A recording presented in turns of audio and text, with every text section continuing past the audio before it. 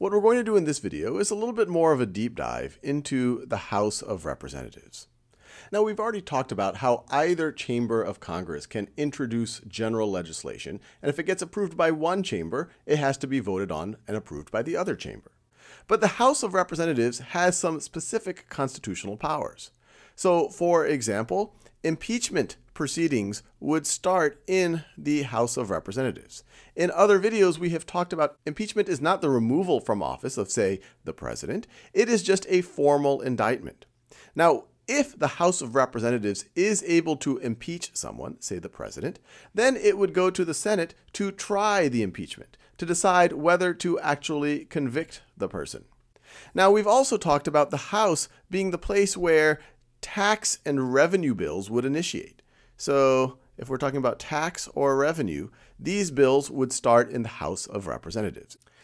The other areas where the Senate has more influence by the Constitution are in ratifying treaties, and this is really one of the significant levers where the Senate has more influence on foreign policy, and also confirmation of presidential appointments, either into the executive branch, if we're talking about the cabinet, or judicial appointments, the federal court system, including the U.S. Supreme Court. But beyond these constitutional powers, there's differences in how these different houses are run. And what we'll see is these processes result in the Senate being more deliberative. In the video on filibuster, we talk about how hard it is to end a debate in the Senate. While in the House, the power is more centralized amongst not just the majority party, but amongst the leadership in that majority party. We're talking about folks like the Speaker of the House and the inner circle of the Speaker of the House. And we'll see why this is in a second. And to appreciate this centralized power, and you could argue a more efficient versus deliberative process in the House of Representatives, you just have to remember that if we have a bill coming to the House, it will first go to the Speaker, who decides which committee it goes to. So let's say it goes to some type of a committee right over here.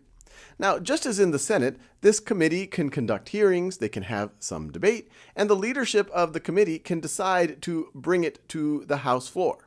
But in reality, what happens is, is that the Rules Committee gets involved. And as we've talked about in previous videos, the Rules Committee in the House has a significant amount of power. They can decide, assuming a bill gets through committee, they can decide to what degree it is debated on the House floor. They can even decide on the rules of debating.